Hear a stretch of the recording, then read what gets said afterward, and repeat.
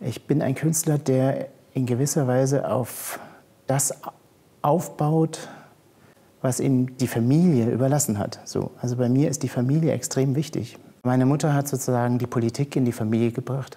Diese äh, Transparente, die sie gemalt hat, die sind extrem akkurat gemacht. Und dann haben meine Schwester und ich einfach angefangen, das anders zu handhaben und haben eigene Plakate gemalt und haben auch dieses Moment von Dada da wieder reingebracht.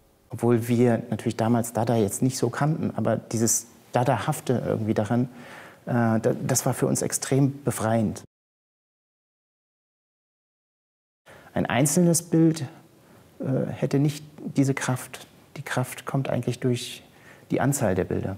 Deshalb ist es wichtig, unterschiedliche Personen darauf zu sehen. Und jetzt da in der Ausstellung sieht man zum Beispiel einen alten Mann. Ähm, man sieht ähm, eine Situation in Amerika mit Amerikanern, einem schwarzen Amerikaner und einer schwarzen Amerikanerin. Und man sieht eine hellhäutige Frau einzeln auf einem Bild. Und dieser, das ist schon ein gewisser Querschnitt irgendwie. Das Bild im Bild, das Plakat, was jemand hält, der dann fotografiert wird. Das ist natürlich naheliegend, irgendwie genau das zu, zu verändern. So. Und das habe ich in anderen Serien auch gemacht. Ich habe sie für die Personen gemacht. Also ich habe versucht herauszufinden, was würde da in die Situation und was würde zu diesem Mensch vielleicht gut passen. So. Wichtig ist, dass man es nicht dechiffrieren kann.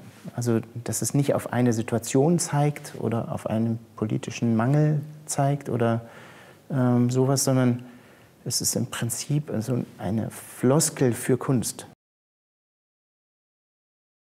Vor ungefähr drei Jahren habe ich nämlich entschlossen, ähm, meine Arbeit nicht mehr zu verkaufen, also nicht mehr in diesen Kreislauf des Kunstmarktes, also des Verkaufsmarktes irgendwie einzuspeisen, sondern meine Arbeiten einfach wirklich nur noch zu plakatieren. Jede Kunst ist politisch, ähm, weil es immer ein Lebensentwurf ist. Ob der Künstler das nun will, bewusst oder nicht, ist es natürlich eine Aussage darüber, wie die anderen Leute leben.